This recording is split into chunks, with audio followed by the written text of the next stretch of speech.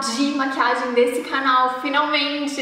Hoje eu vou ensinar essa maquiagem marrom, que tem uns tons mais quentes, que são a cara do inverno, estão super em alta. E esse vídeo faz parte de uma série de vídeos que se chama Arco-Íris do Inverno. Então, ao todo são sete maquiagens diferentes, feitas por sete meninas diferentes, com sete cores diferentes, que são a cara do inverno. Então tem maquiagem marrom, que é essa minha, tem preta, tem vinho, tem roxo, azul, verde, laranja. Eu vou deixar o link dos vídeos no box de informações aqui embaixo e ao final desse vídeo vai ter uma playlist pra você só dar play e conseguir ver todos os tutoriais de todas as maquiagens. Eu espero muito que vocês gostem desse tutorial.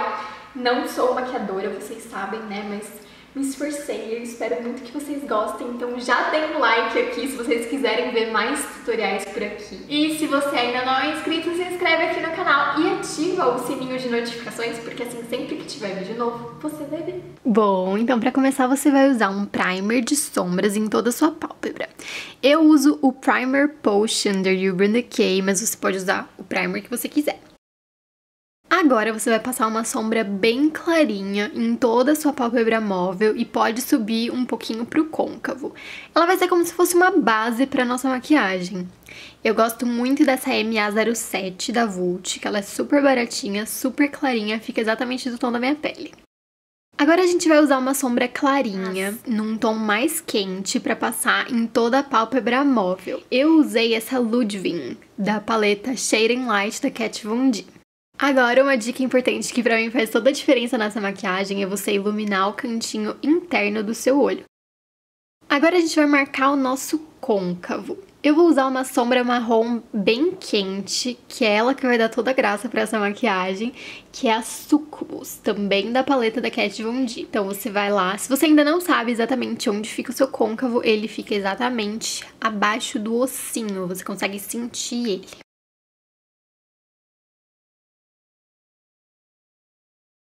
Agora, para escurecer o canto externo dessa maquiagem, você vai pegar um marrom um pouquinho mais escuro e você vai fazer como se fosse um Vzinho. E aí depois você volta pro seu marrom mais quente e esfuma bem para não ficar com nenhuma marcação. Depois, para você fazer nos cílios inferiores, você pega os dois marrons também. Eu passei primeiro o marrom mais escuro e depois o marrom mais quente.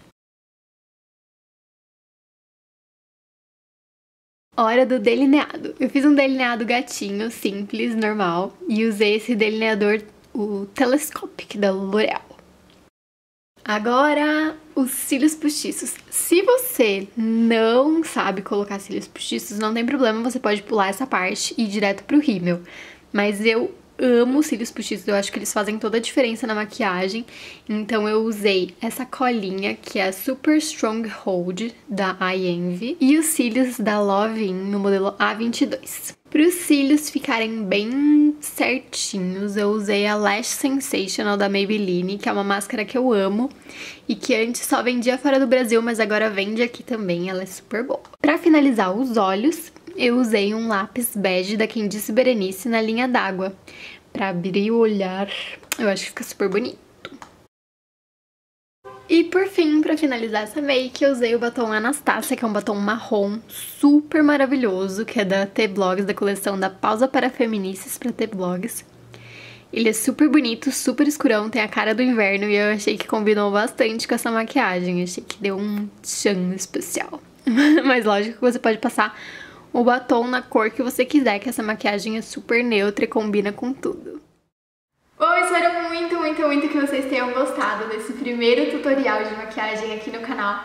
Não esquece de me contar aqui nos comentários o que você achou dessa maquiagem, tá bom? E já sabe, né? Se você gostou, não esquece daquele like maroto e se inscreve no canal se você ainda não é inscrito. Um beijo, tchau!